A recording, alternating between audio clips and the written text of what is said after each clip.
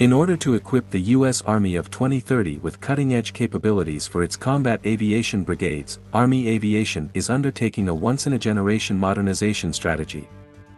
This ambitious initiative encompasses investments ranging from targeted updates to the existing fleet to the design of new future vertical lift FVL, aircraft.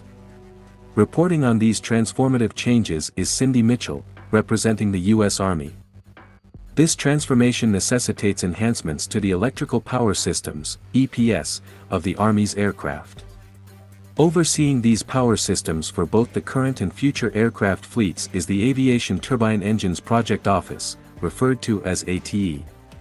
ATE holds responsibility for modernizing EPS to ensure that both the enduring and forthcoming platforms are well equipped to support multi-domain operations.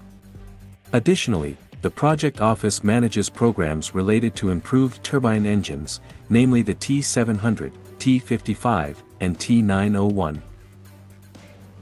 As of today, the enduring aircraft fleet still relies on 1970s and 1980s EPS technology. These platforms face a growing power gap challenge as new technologies and capabilities are integrated into the aircraft. Electrical power demands will continue to rise with the incorporation of additional mission systems, customer equipment, advanced aircraft survivability equipment suites, and upgraded avionics and instrumentation packages in the years ahead. The Army's EPS initiative is a critical factor supporting Tier 1 major platform programs. The FVL cross-functional team has designated the EPS initiative as a Tier 2 Army aviation modernization priority. Future EPS will adopt a modular open systems approach, MOSA, for the design, development, and qualification of a standardized EPS solution for both current and future Army aircraft. The EPS team is actively addressing the capability gap between the supply and demand of aircraft power loads. This involves providing extra power for overall aircraft operation, maintaining a margin for reserve, and ensuring the system's scalability for future expansion.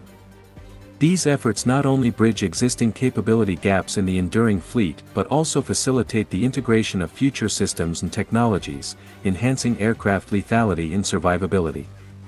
Utilizing MOSA to design a common electrical systems architecture will result in a more intelligent and capable power system, effectively addressing current power gaps and meeting future requirements at a reduced cost. The EPS team recently secured operational energy funding for FY 24-28 from the Office of the Secretary of Defense Cost Assessment and Program Evaluation. This funding will support the modernization of foundational electrical systems and power management, enhancing the Army's rotary wing aircraft in terms of smart power management, thermal control, reliability, maintainability, and safety. Operational energy funding covers two major modernization efforts, the development of a common EPS technical data package through engineering and architecture modeling and the design and creation of a power management solution. The EPS team collaborates with platform original equipment manufacturers to define a modern electrical architecture for each platform as part of the engineering and architecture modeling effort. This includes determining how new technologies and components will interact with existing systems and establishing a common architecture that allows for component reuse across platforms. Modernizing power management systems involves incorporating elements such as electronic circuit breakers and a management controller for automatic control of electrical loads during emergencies.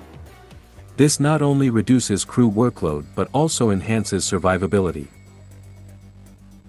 PMATE, in collaboration with the Army Contracting Command, Redstone, has recently awarded funding for the development of electronic circuit breaker hardware.